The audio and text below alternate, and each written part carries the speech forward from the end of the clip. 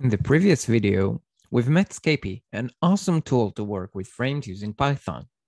We've learned how to sniff frames, how to filter them, and how to execute a function on every frame we sniff. In this video, we'll learn how to create and send frames using Scapy. Let's start with creating a frame.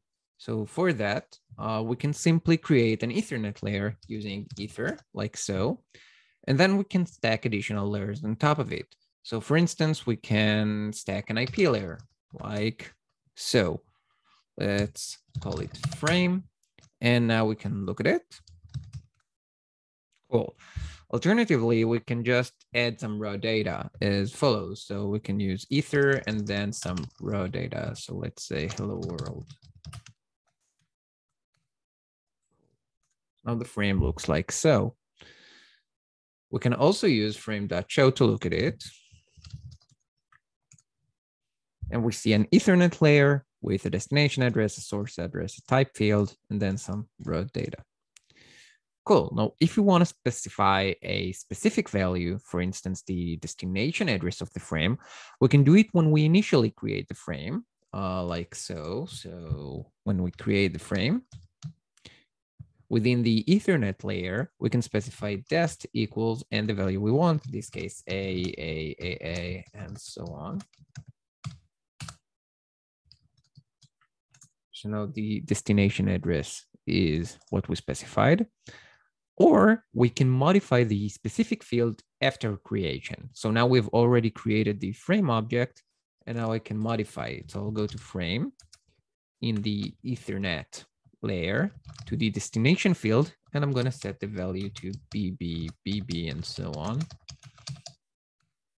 Now if I look at it, you can see that the destination field's value has been changed. Cool, so how can we look at the frame we've just created?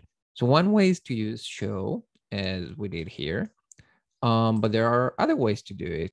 So another way of looking at a frame is by looking at its byte stream, just like in Wireshark.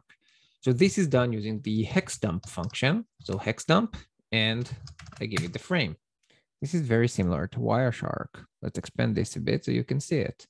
Um, actually, we can do even better than this, and we can look at it inside Wireshark. So to do that, we can just write Wireshark frame. This opens up Wireshark for us. And here we can actually see the frame we created, Ethernet, layer, and so on. So this is the frame we've created in that we already know and appreciate. How cool is that? Okay, so now that we've learned how to create a frame, let's learn how to send it. Sending frames is done using sendp as follows. So sendp frame. Cool, so let us sniff in Wireshark while sending the frame to make sure that it's actually sent. So I'm gonna open up Wireshark now.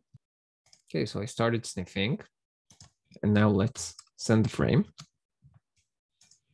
Cool, and we can see that it has actually been sent this is the frame we've created before, and now we sent it.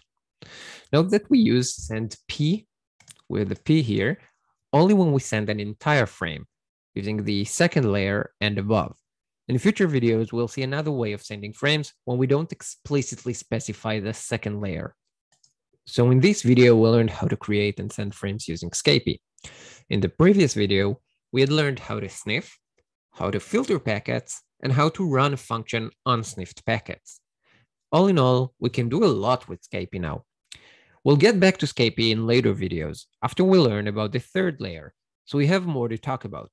Don't forget to subscribe to this channel so you get notified when additional videos are released. For now, I will leave you with an exercise to make sure that you can apply what you have learned.